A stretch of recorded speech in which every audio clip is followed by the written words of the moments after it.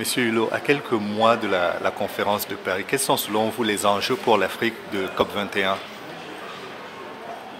Les enjeux, ils sont énormes.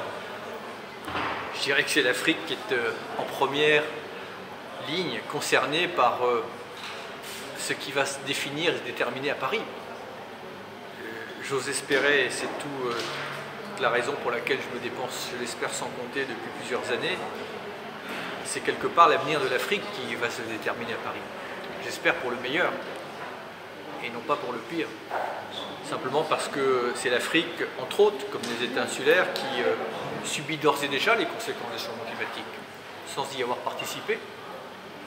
Donc euh, mon engagement, il est d'abord justement euh, pour représenter les intérêts actuels et futurs des hommes, des femmes et des enfants qui sont victimes d'un phénomène euh, dont il se serait bien passé parce qu'ils étaient souvent déjà dans des situations de vulnérabilité. Paris, ça doit être enfin, pour la communauté mondiale, je l'espère, un vrai moment de solidarité. Pas dans les mots, dans les actes.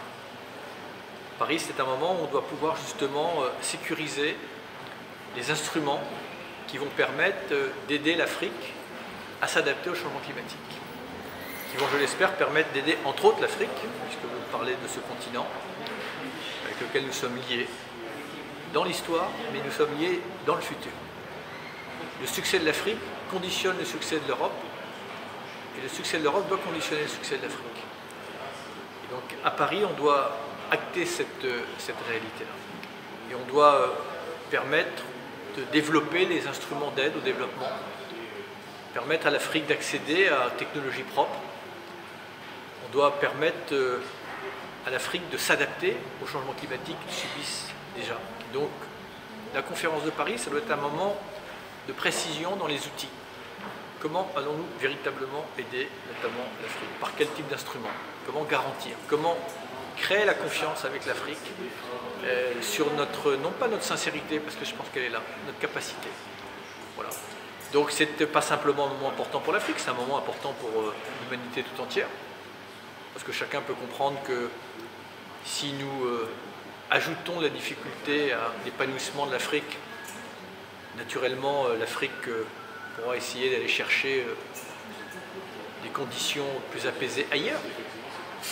Et donc c'est pour ça que nos sorts sont liés. Et donc on doit aider l'Afrique à avoir envie comme elle l'a naturellement, charnellement, biologiquement, génétiquement, envie de rester comme chacun sur son sol.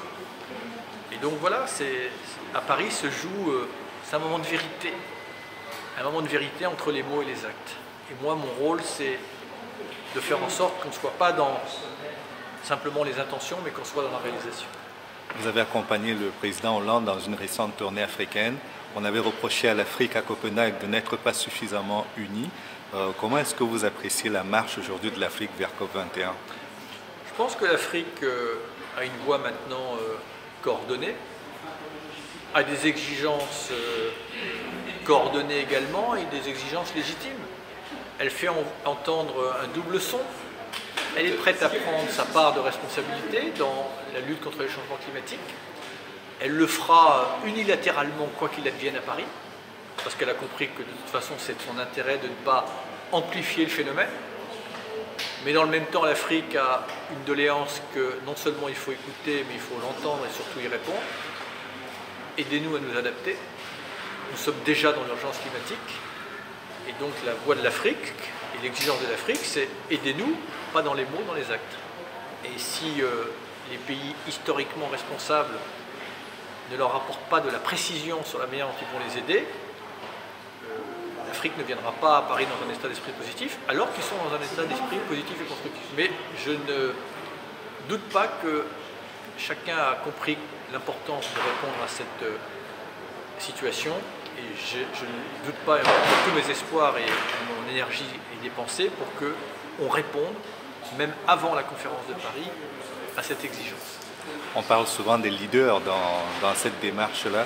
Quels sont selon vous les pays qu'on peut identifier sur le continent africain comme des leaders en...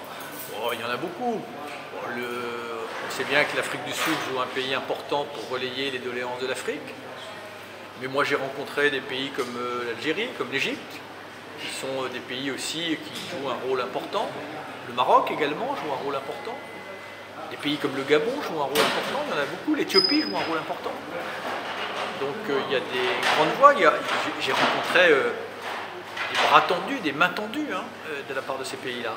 Mains tendues, mais qui ne vaut pas soumission, qui vaut coopération. coopération, c'est dans les deux sens. Et vous pensez que l'Afrique viendra avec son propre discours ou il s'alignera sur des positions françaises, voire des pays les plus... l'Afrique va venir avec ses propres propositions propositions qui sont souvent conditionnées par l'aide que les pays, euh, entre guillemets, riches, ou en tout cas les pays les plus euh, développés, doivent leur apporter. Et c'est, un, ce n'est pas une position d'ailleurs tellement nouvelle. Ce qui est nouveau, c'est que j'espère qu'enfin on va comprendre et répondre à ça. Merci beaucoup.